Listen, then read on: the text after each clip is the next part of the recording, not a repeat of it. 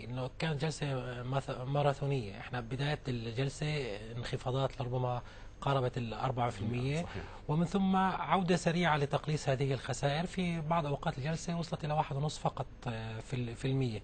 لربما افتتاح الجلسة بها افتتاح السوق والأداء السلبي مع بداية الجلسة كان أمر متوقع لربما هذا التوقع ساهم بالانخفاضات الحادة اللي شفناها.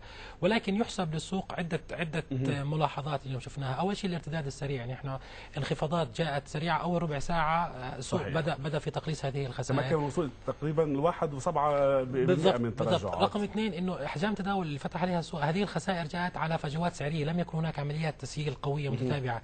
يعني جاءت الأسواق فتحت أصلا بفجوات سعرية منخفضة. أي أنه يعني من قام في البيع هو قام ببيع سريع بيع خوف. يعني كانت عملية الخوف اللي تسيطر عليه ومن ثم السوق عاد وتدارك نفسه.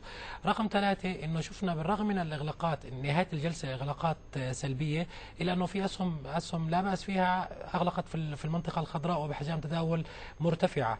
باعتقادي سلوك يعني إحنا حتى متابعين أثناء الجلسة لم نرى يعني ربما كانت هناك تخوفات كبيرة قبل بداية الجلسة لأنه يكون هناك تراجعات حادة على على اعتبار إنه الارتفاعات الكبيرة اللي شاهدها سوق دبي لم يكن هناك عمليات تصحيح بالفترة الأخيرة صحيح. أسهم مضاربتيه بشكل كبير. لربما كانت توقعات إن يكون التأثر أكبر منه أكبر مما رأيناه اليوم. ولكن قلت لك أول ربع ساعة عاد عاد عاد الشعور العام إلى إلى إلى بعض الإيجابية. لربما هذا هذا السلوك ربما بكرة حنشوفه يتعزز أكثر إذا ما استطاع السوق التماسك عند هذه المستويات وإضافة بعض المكاسب. ربما تعود الأمور على ما كانت عليه بالفترات السابقة.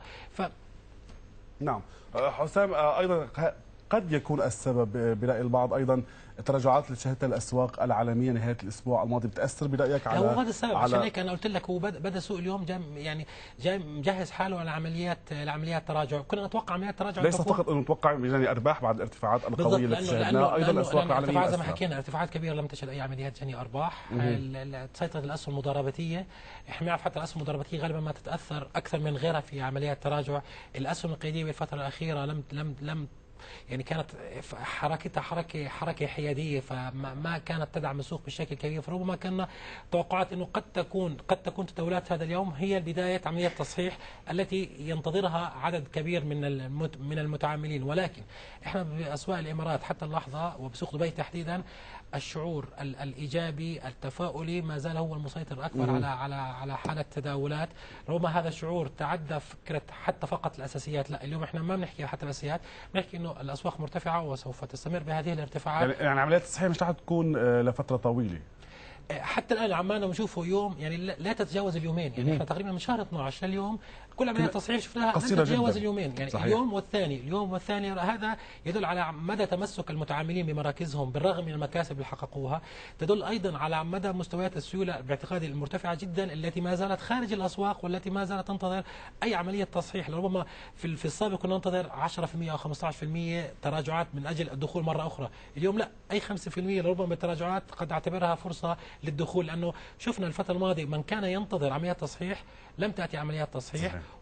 والارتفاعات المتالية أدى إلى أنه المتعاملين معظم المتعاملين أصحاب الكاش ما زالوا صحيح. ما زالوا خارج السوق فعشان هيك بنشوف أي أي تراجعات لو كانت بسيطة نرى استغلال ودخول ودخول سيولة جديدة إلى الاسواق. طيب سيد حسام التراجعات التي شهدناها قوية في بداية هذه الجلسة كما ذكرت لمس 4% عاد وقلص منها بشكل بشكل واضح.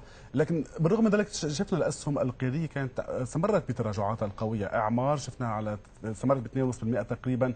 دبي للاستثمار أيضا. شو اللي شو اللي دفع السوق إلى تقليص هذه التراجعات بشكل قوي؟ أوكي إحنا لربما خارطه خارطه السوق دبي من تقريبا من الشهرين الماضيات تعطينا نفس نفس نفس التحركات. يعني الأسهم القيادية خصوصا ذات الوزن الكبير على المؤشر دبي آه، إعمار ودبي الإسلامي طول الفترة الماضية ما زالوا محافظين على ارتفاعاتهم السابقة دون نشاط يذكر. اليوم إحنا بنحكي تداولات مش اليوم بس حتى الفترات الماضية تداولات تقارب 2 مليار لا نجد تقريبا 10% على الأسهم على الأسهم الكبيرة. ففي نوع من تحييد هاي الأسهم و و والاستفادة من وزنها النسبي في تثبيت المؤشر والمحافظة على ارتفاعاته والتوجه إلى إلى الأسهم ذات ذات المخاطر المرتفعة.